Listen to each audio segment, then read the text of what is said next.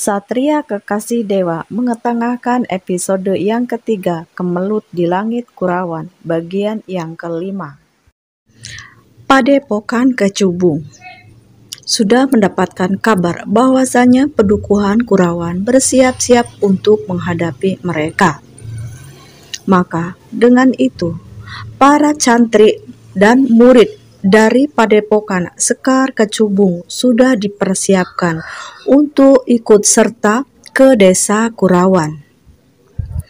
Para pasukan dari Sekar Kecubung ini bertekad untuk menghancurkan desa Kurawan. Ki Ponco sangat geram karena orang-orang desa Kurawan sudah tidak menghormati pasukan dari Sekar Kecubung lagi. Dan dengan beraninya, orang-orang Kurawan secara terang-terangan menentang Padepokan Sekar Kecubung. Pangger bertanya kepada Ponco selaku kakak seperguruannya, apakah kita perlu menghadap kepada guru kakang? Ucap Pangger kepada Ki Ponco.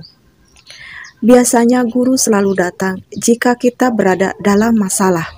Ucap Pangger melanjutkan pertanyaannya. Aku rasa ini hanya masalah kecil.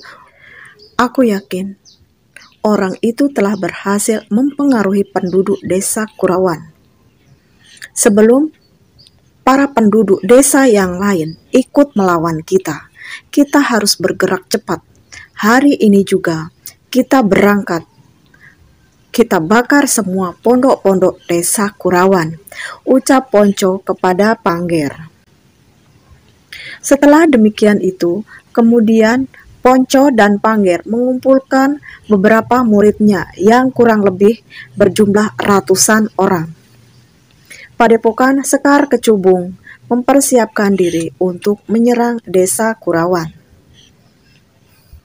Dengan gelora amarah, Ki Ponco kemudian mencambuk kudanya agar laju dari kudanya itu bisa berlari cepat. Jarak dari Padepokan menuju desa Kurawan tidak terlalu jauh, sehingga tidak memakan waktu yang lama. Rombongan dari Sekar Kecubung telah sampai di tapal batas desa Kurawan. Ki Ponco bersama dengan bala tentaranya dari jauh mereka sudah bisa melihat warga Kurawan yang berjejer di tapal batas Ki Ponco memacu kudanya semakin cepat, sehingga saat kuda itu berhenti, kaki depan dari kuda harus terangkat dikarenakan oleh penghentian yang mendadak.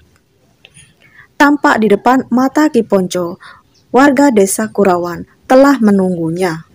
Sejenak kemudian, Ki Ponco mengedarkan pandangannya kepada seluruh warga Kurawan yang berada di depan pintu gerbang.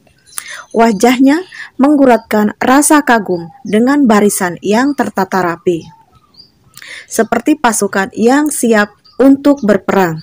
Kemudian pandangan dari Ki Ponco berhenti pada sesosok pemuda berpakaian aneh yang berada di tengah-tengah barisan para warga.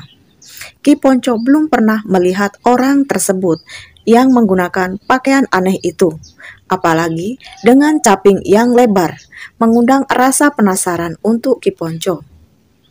Ki Ponco kemudian bertanya kepada Pragolopati, Pragolopati, lakukan rencana kita, ucapnya. Pragolopati kemudian mengangguk perlahan.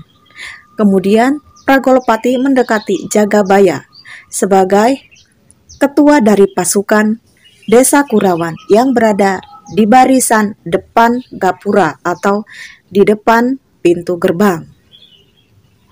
Selamat malam Ki Jagabaya. Kenapa begitu banyak orang-orang yang berkumpul di sini? Ucap Pragolopati kepada Ki Jagabaya. Kami hanya menyambut kedatangan Angger Pragolopati bersama dengan orang-orang Padepokan Sekar Kucubung. Bukankah Angger Pragolopati juga telah membawa banyak teman? Balas Ki Jagabaya dengan tenang. Ki Ponco kemudian ikut mendekat ke arah Ki Jagabaya. Pemimpin dari pasukan Sekar Kecubung itu tertawa lepas. Sampai-sampai tubuh dari Ki Ponco ini terguncang-guncang. Sebentar kemudian Ki Ponco turun dari kudanya.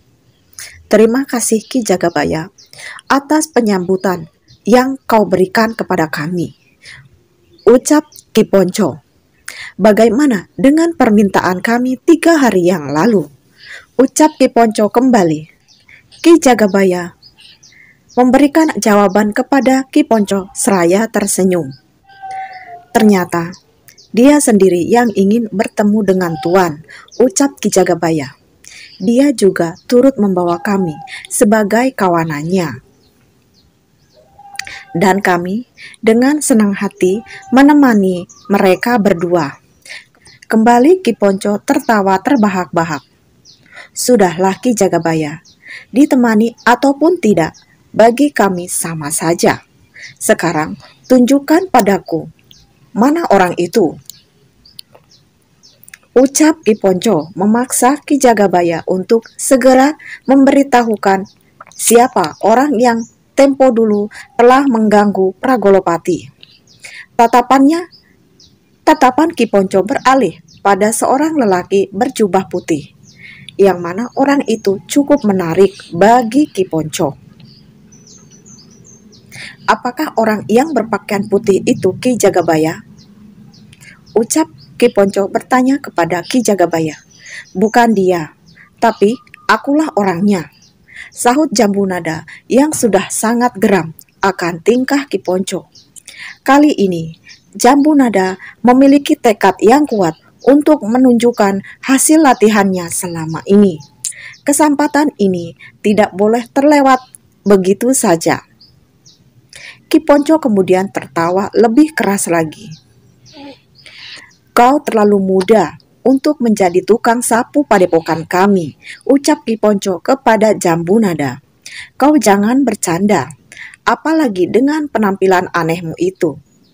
Dasar kau hanya sekedar anak ingusan, sudah berani menantang kami, ucap Ki Ponco kembali kepada Jambu Nada. Kemudian Jambu Nada menjawab, Bagaimana kalau Tuan yang aku jadikan tukang sapu di padukuhan ini? Ucap suara Jambu Nada lebih pelan. Sembari matanya menatap tajam ke arah Ki Ponco. Guru, aku sudah tidak tahan dengan basa-basi ini. Kalau dia yang berat kalau dia yang berani menggangguku beberapa hari yang lalu, biarlah aku yang menghadapinya. Di hutan itu dia hanya berani bermain petak umpet. Ucap Pragolopati yang sangat merasa panas karena melihat tingkah dari Jambu Nada. Sebab orang yang mengaku melakukan tindakan pengecut di hutan itu terlihat masih muda, paling tidak sepantaran dengannya. Meskipun Pragolopati tidak melihat wujud aslinya karena jambu nada menggunakan caping lebar serta berpakaian yang begitu rapat. Namun, dari suara jambu nada, Pragolopati bisa memastikan bahwasanya orang yang berlindung di dalam caping dan juga baju yang rapat itu adalah seorang yang masih muda. Bagaimana Pragolopati? Permainan petak umpetku waktu itu apakah sudah membuatmu merasa tidak telaten untuk menemukanku sehingga kau tertidur lelap bersama tuan yang berpakaian hitam dengan ikat kepala merah itu? Kata Jambu Nada sambil menunjuk ke arah Pangger. Atau apakah kau ingin tidur lagi Pragolopati? Kelihatannya kau begitu nyenyak saat itu. Tak tega aku membangunkanmu Ucap jambu nada kembali melanjutkan ucapannya. Telinga Pragolopati terasa sangat panas. Begitu juga dengan Pangger. Kata-kata jambu nada hampir saja membuat Pragolopati meloncat untuk menyerang jambu nada. Akan tetapi tak jadi karena segera digamit oleh Ki Ponco. Sungguh permainan yang seru anak muda. Sayang, Aku tidak berada di sana, ucap Ki Ponco. Mungkin kau juga akan tidur hingga tak bangun-bangun lagi, ujar Ki Ponco kepada Jambu Nada sambil menerapkan aji gelap ngampar tingkat tinggi.